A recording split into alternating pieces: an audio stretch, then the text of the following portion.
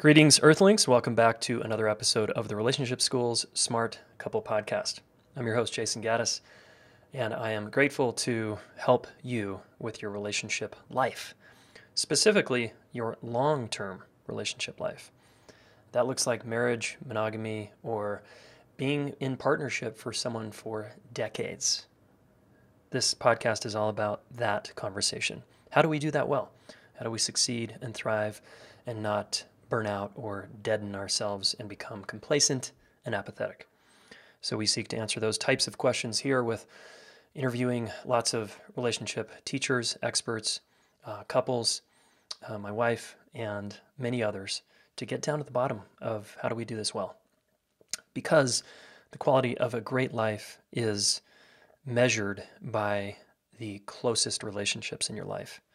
And the Harvard study suggests that and I'm here to underline that and say, yes, that's true in my own life. Okay, you can be loaded with lots of money, or you can be the fittest person on the planet, but if your relationship life sucks and you feel stressed when you come home, like you don't even want to be in your own home because that's where your partner is, then you've got problems, right? You're not going to be very fulfilled. So, we tackle this here at the Smart Couple podcast. You know what's interesting is people talk commonly about divorce rates, right? 50% is the common number thrown around. That's debatable depending on the research you look into, but let's call it 50%.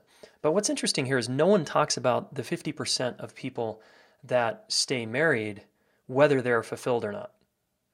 Isn't that interesting? That the assumption is if you don't get a divorce, you're somehow like successful. And what any smart person knows that's, you know, applies common sense is well, staying married has nothing to do with fulfillment or success. Plenty of people, especially my parents' generation, stayed married, but uh, did it for the kids or because they didn't, uh, their church or religion or someone told them it was bad and wrong to get a divorce. And so they became sexless roommates uh, that just kind of, it was like a business transaction. And that is okay if that's all you want in life. Um, but I want to drill into why this is. Why is it that so many people don't succeed in a long term relationship? And I want to invite you right now to go to our website and download the relationship test. It's like a little quiz you can take to evaluate how successful your last relationship was if you're single or your current relationship is based on 25 questions and it's very illuminating. Okay, it's going to tell you, you answer these 25 questions, it's going to take you about 10 minutes. Uh, it's going to tell you what's up with your relationship life very fast, and it's going to tell you where your weak spots are and where your strengths are. All right, so go to relationshipschool.net forward slash relationship test to find out more. Now, how is it that some people have a thriving long term relationship and others can't figure that out and don't know. Well, I'm going to assert that one of the reasons is because you're not applying yourself, right? Because you didn't get educated on this, it's time to double down and get this part of your life dialed if that's important to you. And you can do that by learning how, like anything. Okay. That's all we need to do, guys, is learn how to do it well. Anybody can do it, including you. So the other thing is long term relationships go through three stages. And then there's a fourth that I'm going to add uh, today just to just for fun, okay? And these three stages of a long term relationship are critical to understanding your own relationship success and fulfillment.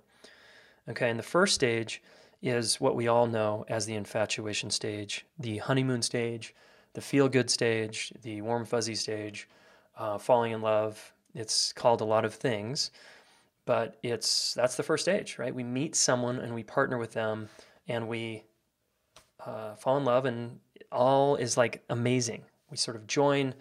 It seems like we're not different. It seems like we're the same. We have the same interests, the same values, and it's really there's a lot of electricity and chemistry, and the same parts of the brain light up as people addicted to substances and stimulants.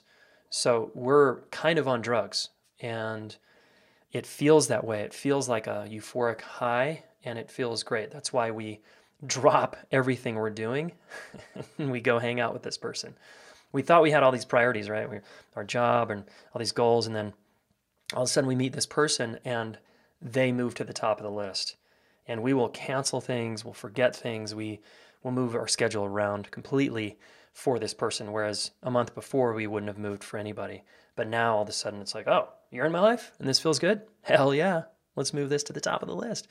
Okay, we lose sleep. We write in our journals. We, we, we're so creative and we ah, just feels amazing. We write poetry. We do art. We sing. We listen to sappy music that, that invokes these dopamine like feelings even more.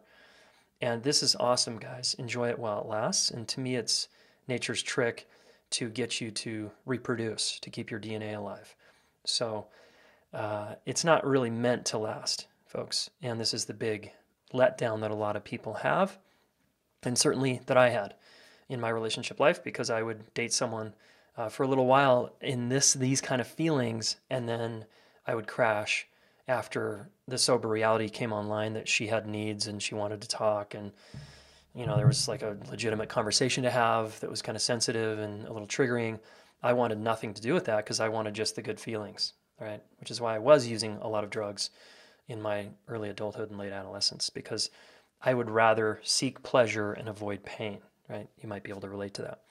So the infatuation stage typically lasts a few months to a couple of years at the most. I don't know many people that have lasted longer than a couple of years. And then the sober reality comes in where we start to see the differences. Oh, you you have how much debt? Oh, you're wearing that again? Oh, you did what in the bathroom? And your laundry looks like this. Is this how you leave your room? And we just start to see all the kind of grossness. And you can't hide, especially if you move, in with someone. You just can't hide from the reality that you can't continue to be a half of a person where you're just pre- presenting your best self and you're hiding all your baggage because you don't want to be rejected. That just doesn't last. That's a game that you're going to lose at. And this catapults you into, or it's a slow burn, into the challenging stage, which is number two. Okay, the second stage of a long term relationship. And the challenging stage, this is where most people uh, fall asleep or they leave. So when challenges get hard, couples will uh, will you know there's lots of options, but typically they do one of two things. They uh, roll over and compartmentalize all the difficult things, and they keep trying to maintain sort of a status quo connection. We're friends, right? You like me, right? And let's not go there. Let's not talk about this. Let's not talk about that. Or people argue and blame, and it gets kind of intense. Uh, one person's pulling away, the other person's pursuing, and it becomes this cat and mouse game that doesn't go anywhere. And eventually people burn out there. So, unless and until you learn how to deal with your challenges in your relationship, you won't advance to stage three.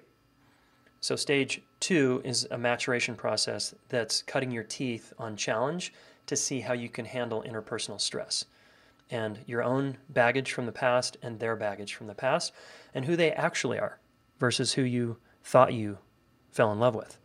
Now you're getting a fuller picture of the real them. So after we move out of the challenging stage, we move into the third stage, which is the true love or mature love stage. And this is, you get to advance to stage three only if you prove yourself in stage two. So people who earn the right to be in what I call mature love, true love, they've worked hard to get that. And if you know someone in your life that's actually there and they're not pretending to be there, it's because they know how to deal with adversity and they they talk about it and they're willing to be open about their challenges in their partnership. You know those couples that down the street or in your circle where you're like, gosh, I don't know what they do. They seem always like they're in a good space and they never talk about any challenges. Well, those people are likely wearing a mask and you're being fooled, okay? They're pulling one over on you. I don't know any couple that doesn't have disagreements, challenges, and whose nervous systems don't fire. Um, so it just happens to me and happens to you and it happens to us. And how we navigate those differences are key to moving on to the mature love stage. So once you demonstrate through disconnection after fight, after disagreement, after argument, that you know how to and you learn how to um, work with those challenges, you move on to an empowered relationship that feels uh, extremely good because you have the feeling of confidence that you guys can make it through challenges together and alone. And you had had each other's back through the challenging stage. You demonstrated that. It felt mutual. When things got hard, you both put in the work to get through it. And now we're in a mature love stage. And we will this is the this is the deal. Don't have the fantasy guys that you're going to go back to stage 1 and everything's going to be hunky dory now. No. Plan on for the rest of your life having challenges. You've noticed this, right? life doesn't typically get easier. The challenges get bigger, especially if you're on the growth path. So, would you want to deal with those challenges with a teammate that had your back, or do you want to continue to frustrate and fail and not how to work out your different, not know how to work out your differences with someone? You know, it's pretty straightforward. So, in the mature love stage, we absolutely have just as many challenges, but we know how to deal with them now, and we get stronger through the process and it feels really, really good.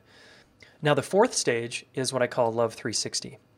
This is when you're getting the whole picture and you start to trust a bigger level of life, that life is on your side. Things aren't happening to you, they're happening for you. And this is an indestructible view that you can hold in a really big way that can hold your partnership no matter what the two of you go through, including affairs or uh, disconnection and breaking up, that you're holding a much bigger view uh, about life. And it's a way to see the world. And this is more of a state than a trait for most people. Um, it's like a peak experience in a way where you can see all of a sudden in a moment of clarity that it's all helping you, it's all for your benefit. Uh, but usually in our smaller self, we, we tend to get in the victim seat and we think life is out to get us somehow. So, in our my more advanced courses, we talk about the Love 360 stage. That it's it is possible to get stronger there. It's not a place you just hang out in, like some enlightened being. I don't think that's true. It's more of you just get the capacity to hold more contradictory perspectives. You can also hold more of your own drama inside yourself and trust the fullness of it. So we get to do that with our children, our, our partner, and our friends and the world when we earn the right to step into that. So it's like a, a Vajrayana level of relationship practice, right? So if you want more info on that or any of this, come hang out with us here at the Relationship School. Go take the relationship test and see what your score is. And then one of your first steps is to join this community and get in relationships with other people who are on the growth path, the growth development path, and are willing to talk openly about stage two and not hide that because that's just a reality that you're never going to be able to escape. Okay. So you can join our community if you want. Uh, try it out, test it out, check it out for a month. Relationshipschool.net forward slash roots if you want to come play with us. Okay. Every couple of weeks we meet and practice and we learn tools on how to navigate stage number two. Okay, folks, hope this has been useful, and I look forward to chatting with you soon.